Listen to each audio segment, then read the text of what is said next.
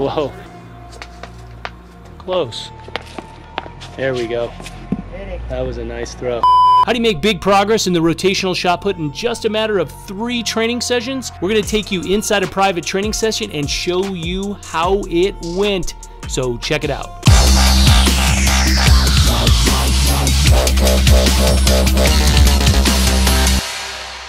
Hey everybody, it's Eric Johnson from Arete Throws Nation. In today's video, we're gonna go through a rotational shot put training session. We did that for three days. We had Wyatt kind of go through his normal progression, what kind of mistakes we saw, what did we see. We're gonna then start breaking things down by pillars, right? And showing him specifically what movement issues he's doing at each pillar. Everything was a little too forward in the throw, and that's a big common mistake. And then that's gonna time up a late delivery, and that's gonna reduce distance in the throw.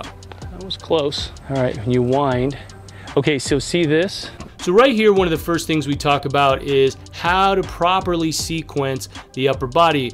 Oftentimes throwers are sequencing, they see a lot of things, how active they have to be. You, are you passive, are you active? And he was moving the shoulder and arm incorrectly into the throw, and this is what we were kind of covering here to help him understand how to do it correctly. That was a little better. Whoa. That was better. We kind of explained where he needs to be and where he is. And then we started to try to apply changes. So you'll notice on his first few throws, felt pretty off balance. That was better. The progress change from the beginning of the session to the end of the session was pretty considerable. That was much better. Yeah, there you go.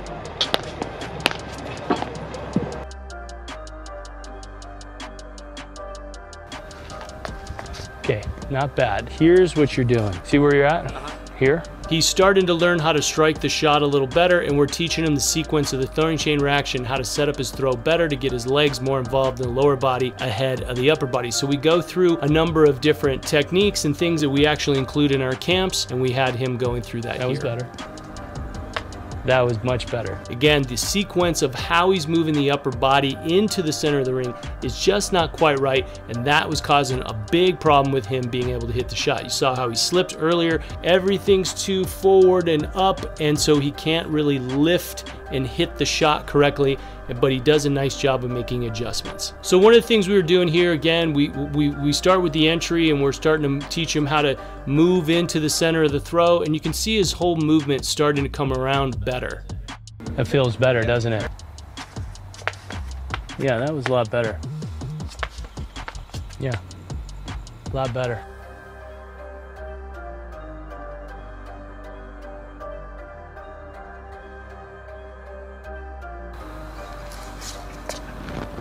A little better. He'd thrown way more in a three day span, so we broke out the med ball so that he could do some self myofascial release work, you know, some rolling. So we were getting the muscles on the front of the shin loosened up because his ankle was starting to feel tight. So we kind of kind of showed him where how everything was connected, and then we started to loosen him up so he could continue to move through his training session.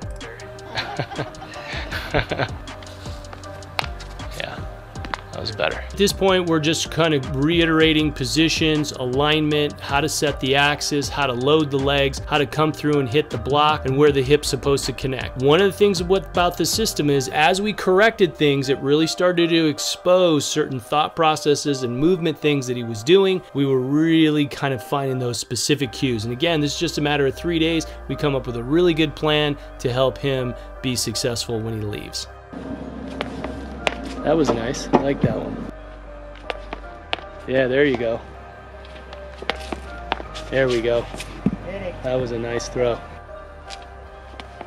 Ooh, that was so good. That looked like it came off the fingers. Oh, yeah. Good mm, job, uh, my name is Wyatt Bruce. I'm from Pueblo West, Colorado. I've been with the program for about two years now. You did a great job. You worked really hard for the last three days. What'd you think of the of the process? Yeah, de definitely. Um, understanding the pillars on how they function and how your body functions because of the pillars is super important. Having you break it down into those six, it makes it better for us to understand what specific points you're talking about. Then once you like talk about a specific pillar, how that pillar contributes to another pillar and how they connect connect. Good. And then once that connects, they almost connect in both throws, so shot put and disc. Would you recommend the oh, program? Oh, no doubt, 100%. Would you move to Colorado? Yeah. yep.